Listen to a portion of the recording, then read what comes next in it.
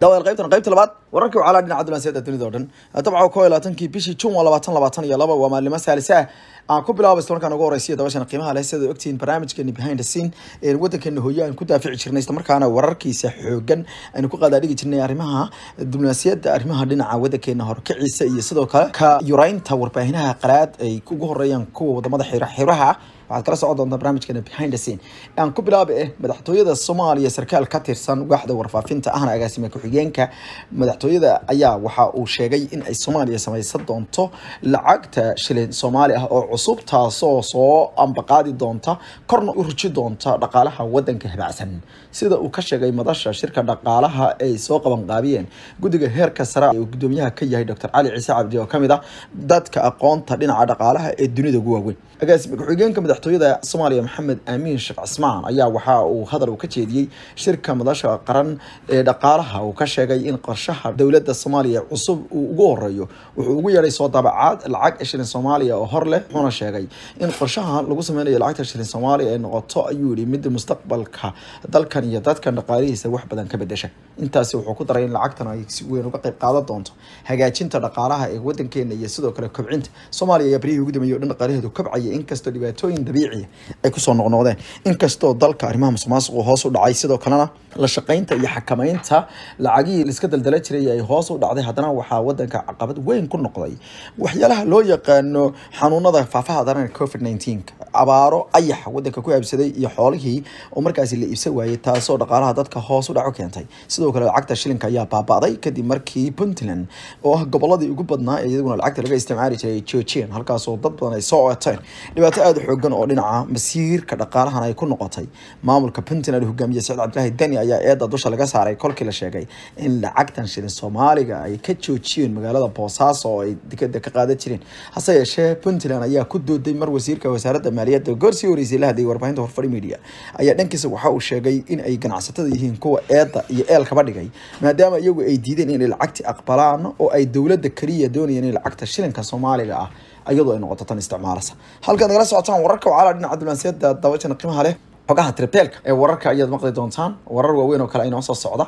Iyaduna intaynan isla arrimahaasi ka bixin dowladda dalka shiinaha ayaa waxay sheegtay in ay soo diri doonto lix boqol oo tan oo raashin ah oo ay soomaaliya kaga caawin doonto arrimaha la dagaalanka gaajada iyo dhibaatooyinka ay dowladda soomaaliya horaanta u qaaday ee qayladhaantu isqabsatay. Ee ku aadan in soomaaliya gaajo aad ay ka jirto. Dowladda shiinaha safiirkeeda ayaa magaalada muqdisho wuxuu kula kulmay wasiirka arrimaha dhibaatooyinka dabiiciga ah iyo xuquuqul insaanka khadiijo maxamed deeriye uu kala hadlay arrimaha gurmadka abaaraha oo uu sheegay inay uga qayb qaadanayaan lix boqol oo tan oo raashin ah wasiirka wasaaradda mise khadiija ayaa waxay sheegtay in dowladda soomaaliya ay ka mahad celinayso waxay ugu yeedhay dhibaatooyin dad soomaaliyeed haysta oo ay ka gargaartay dowladda shiinaha shiinaha ayaa waayadii ugu dambeeyay o dhan wuxuu sheegayay inuu doonayo inuu heshiisyada dhinaca taageerada ee soomaaliya uu sii ballaadhiyo dhowr jeerna waxay dhawaaqeen. Dhowr mashruuc oo kale oo ay sheegeen in ay doonayaan inay soomaaliya ay ku caawiyaan. Iyada oo adduunka daraasaduhu ay sii socdaan dadka qaarkoodna ay ka hadlayaan arrimaha caafimaadka iyo horumarintiisa sidoo kalena ay jiraan waxyaalo badan oo la doonaya wax laga ogaado. Gaalada iyo dadka kale ee aan gaalada ahayn ee muslim iyo gaalba bini-aadanka oo dhan waxay isku dayeen inay xanuuno badan xaliyaan inkastoo weli ay jiraan xanuuno dawooyinkooda la gaadhin. Uusanna jirin sida islaamku aaminsan yahay. Xanuun aan dawo lahayn laakiinse inaga inaga dahsoon yahay. Waxyaalaha laakiin la isku raacsan yahay inaysan dawo lahayn dawadoodana aan cid isku hawlin waa laba shay. Waxa weeye geeridu dawo ma laha sidoo kalena gabowgu isaguna dawo ma laha. Waayo qofku markasta uu weynaado waa uun si uu weynaanaya islamarkaana wax ka joojinayo inuu weynaado ma jiro. Sidoo kalena qofku marka uu tiisu dhammaatay ee dhimanaya ka dhammaato cid jooji karta. Haddii gaal iyo islaan iyo cir iyo dhulba la isku yimaado ma jirto. Ilaahay baana arrintaasi ku takrifalay waa hore. Haddaba saas ay tahay. Waayihii u dambeeyey waxaa laga hadlayay in qofku da-diisa haddaba uu sii weynaato ama uu nolol badan sii helo. Iyada oo aan laga eegaynin dhinaca qofka qadarta xilligu dhimanaya laakiin waxaa laga eegaya dhinaca caafimaadka iyo inuu qofku isagu jirkiisa uu noqdo mid caafimaad qaba oo xanuun markuu ku dhaco usan u nuglaanin. Inkastoo la hubo qofku siduu ku baxayo inaan cidoogeen haddaba b b c da ayaa arrintaasi barnaamij ka diyaarisay. Waxaana loo bixiyey barnaamijkaasi waxaa leedahay nolosha labaad. Waxaana jira marar ay dad badan ay quus ka taagnaayeen sida b b c du ay qortay inay noolaadaan boqol sano. Haddeerta waxaa loo arkayey ayaa layidhi arrintaasi mar riyo laakiin hadda waxaa loo arkay inay rumowday toddobaadkan ayaa waxa uu barnaamijka haddaba habdhaqanka iyo noocyada cunooyinka ee qofka gaarsiin kara inuu noolaado boqol sano. Waxaana arrintaasi la sheegay in markii ugu horeysay khubaro ka hadleen b b c da ayaa warbixin ay ka tarjuntay arrintaasi waxa ay ka wareysatay dr hirako akiyama oo ahaa ku-xigeenka madaxa golaha sayniska ee dalka japan waxayna tidhi waqtiga xaadirkan waxaan caadi ahayn maaha in la noolaa karo ilaa iyo boqol sannadood ayay sheegtay. Waxay sheegtay in boqol sannadood in la noolaa karo ay ku xidhan tahay qofka habka uu noloshiisa u diyaariyo. Dr hareko akiyama waxay aqoon iyo waayo aragnimo u leedahay daraasaada gabowga waxayna gebigeeduba ay cilmiga aqoonta dhinaca caafimaadka ku taqaqustay dhinaca gabowga waxay sheegtay in dadka jaban ay si aada u gaaraan da-da gabowga ee celcelis ahaan da-da dumarka jabaan ayaa hadda waxay gaarayaan ilaa iyo siddeetan iyo sideed sannadood. Halka celcelis ahaan ragga ay tahay ayaa liyi siddeetan iyo labo. Dadweynaha dalka jabaan labaatan iyo sagaal boqolkiiba waa lixdan iyo shan jiro maanta. Taasina waxay keentay in dowladda dalkaasi ay dhowaan ka qayla dhaamiso taranka dalkaasi. Marka celcelis ahaan da-da keliya hong kong iyo singapore switzerland itaaliya iyo spania ayaa u dhow jabaan sida laga soo xigtay wasaaradda caafimaadka dalka jabaan sannadkii hore siddeetan iyo lix kun shan boqol iyo toban muwaadin oo wadankaas ayay da-doodu ahayd boqol sannadood. Taasoo ka dhigan ayaa layidhi mid cajiib noqotay. Dr harika waxay sheegtay in waxyaabo badan ay sabab u yihiin cilmi dheeriga dalka jabaan oy ka mid tahay ayay nidaamka caymiska caafimaadka caalamiga waxaana bilownay ayay tiri lixdamaadkii. Dadku halkan si sahlan ayay u heli karaan ayay tiri xarumo caafimaad. Sababo kale ayaa ah ayay tiri in dalka jabaan dadka caafimaad ahaan ay aada u yihiin dad caafimaad leh ama caafimaad jaban iyo sidoo kale inay dalku yahay dal caafimaadkiisa uu fiican yahay. Jabaanku waa dal shaqo badan waxayna sameeyaan taxadar si ay uga fogaadaan kansarka iyo cudurrada wadnaha. Dr harika waxay sheegtay in dadka jabaan ay aada ugu fiirsadaan cunooyinka ay cunaan waxayna cunaan waxyaabo uu dufanku ku yaryahay kalluunka iyo khudaarta ayay aada u cunaan waxayna cabaan shaaha cagaaran.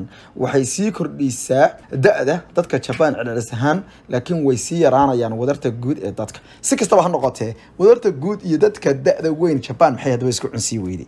Taas haddaba haddaynu kaga tagno intaasi warbixinta jabaan oo aynu fiirino daraasadaha kale ee horfar media akhriday. Waxaa weeye dadka ma guur badna islamarkaana dhinaca guurka ayay ka daahaan ama se maba jecla inay guursadaan. Taasna waxay keentay in ay dadku hayskaba noolaadeene dadkii jabaan tiradoodii hoos ayay dhacaysa waayo da-yarta ayaa ku yar marar badanna waxaaba sii yar tirada ragga oo mar walba hoos u dhacaysa. Taranka ugu badan wuxuu ka yimaadaa dhinaca ragga. Waayo waxaa la sheegaa markastoo dumarku ay sii bataan inaysan taranka qayb ka noqon karin. Jabaan dhowaan waxay soo saartay siyaasado cusub ay ku dabaqaso in la taageero qoysaska doonaya inay caruuro badan dhalaan taasi waxay ka dhigan tahay layidhi koruqaadista nidaam cusub ay doonayaan inaysan gaagoon tirmin. Dalal badan ayayse la qabaan arrintaasi oo xataa jiinaha oo ah dalka ugu dadka badan caalamka ayaa wadnaha farta uga in caruurtu ay ka yaraato. Sidaa daraaddeedna waxay dhowaan soo saareen siyaasadda loo yaqaan haysashada saddexda cunug. Waagii hore shiinuhu mar hore ayuu mamnuucay in saddex caruura la haysto oo waxay doonayeen in hal carruur reerku uu haysto kadib markii uu fakriga wadanka uu saameeyey. Haddeer shiinihii lacag buu helay. Sidaa daraaddeedna carruur bay rabaan. Waxayna ka baqayaan dadkooda sii gaboobaya inay yaraato dad dhallinyaraha wadanka difaaca la waayo. Dalalka afrika ayaa ka maqnay dalalka hogaaminaya da-yarta.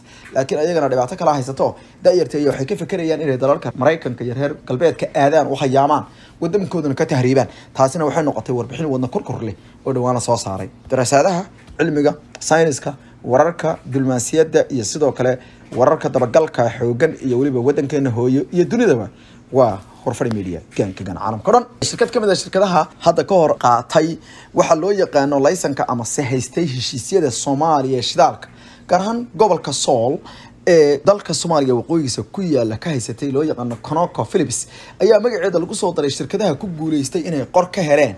Guushii dhowaan la boobay ee dalka qatar ay u soo bandhigtay shirkadaha waaweyn reer galbeedka. Qatar waxay u soo bandhigtay shirkado waaweyn oo reer galbeedka inay qayb ka noqdaan barnaamijka qodista ceelal daaha laga furayo oo dihin kuwaasoo ay yururto gaas dabiici oo trapel xili adduunku u baahaya arrintaas.